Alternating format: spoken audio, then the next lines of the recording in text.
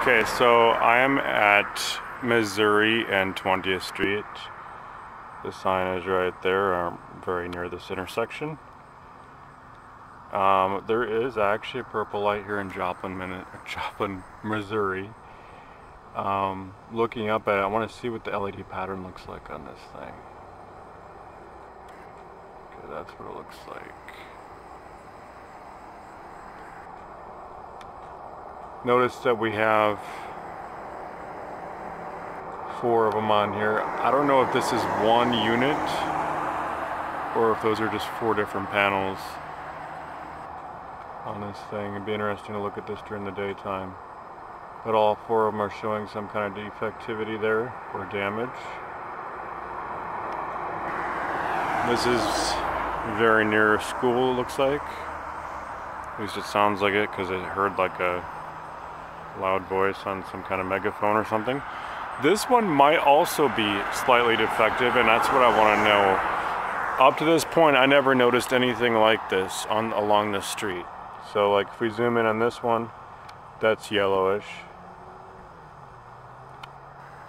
That might be kind of yellowish. Like, I take it these are all the same color.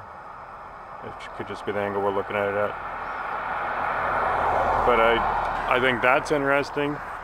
And zooming in on this one, it doesn't really look that purple, but I want to check and see because I think it might have like one or two defective ones on it. They just happen to be next to each other. It's kind of interesting. So actually I'm gonna unpause this so you can see that I'm, that's that purple one that I just looked at. That's the view down the street. We're gonna take a look at this one here. I have not seen if there are other defective ones down the street further uh, west of here yet. But this one might be defective on one or two of them, so let's check.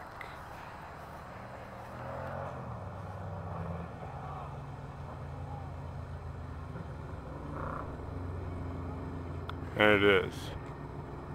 That's the pattern on this one. And this one's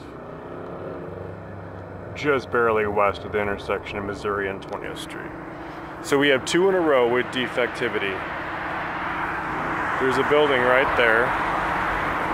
The southwest is right there. I don't know if this can be explained by wind or not.